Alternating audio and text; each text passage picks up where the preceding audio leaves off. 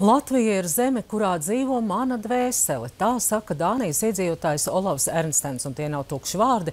Kungs ne tikai iemācījies latviešu valodu, bet jau vairākus gadus ik mēnesi finansiāli atbalsta Kuldīgas novada paduras mazpulku.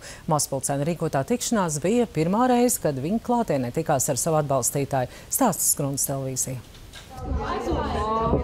Paduras mūžas klēts ir viena no vietām, kur piestājuši visi tie, kas ieradušies uz 17. paduras mazpulka tikšanos, atkal kopā visu darīs ar prieku. Pasākums veltīts Latvijas simtgadēji, tāpēc arī nodarbis ir Latviju izzinošas. Šādu pasākumu mazpulks rīko jau otro reizi, bet šoreiz tas ir īpašs ar to, ka piedalās arī mazpulku labdaris no Dānijas, Olafs Ernstens.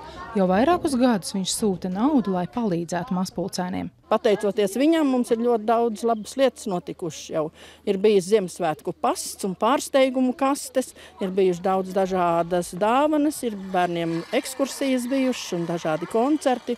Lai kā man tam negribētos teikt, visur ir vajadzīga tomēr nauda. Tas, kā Sirmais kungs uzzinājis par paduru un tādu organizāciju kā Maspulcēni, ir gluži vai neticams stāsts. Viņu interesējusi Latvija, īpaši kurzem, tāpēc iesaistījies arī Dāņu latviešu biedrībā un 2013. gadā sācis mācīties latviešu latviešu valodu.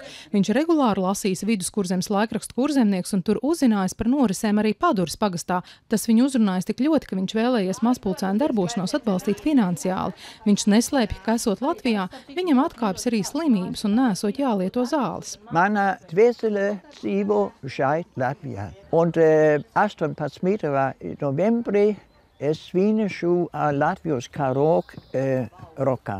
Kungs smējot saka, ka Dānijā šobrīd vienīgais, ar kuru runāt latviski, ir viņa suns. Galvenokārt mācījies pašmācības ceļā ar vārnīcu palīdzību. Klausīs arī ieteikumam lasīt latviešu klasiķus - brigaderi plūdoni Raini, Aspazī un Skalbi. Man ļoti patīk skalbi. Viņš ir viens no rakstītājiem Latvijā, kas vislabāk, vislabāk ir uh, ir zinājies uh, latviešu tautas dvēselī.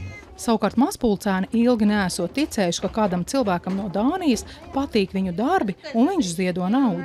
Tāpēc, ka domāju, ka viss tā skolotāji viss, nu, tagad samānījusies, bet tagad skolotāji pierāda, ka viņš ir īsts. Pāduris mazpulks ir ar senām tradīcijām viens no aktīvākajiem Latvijā.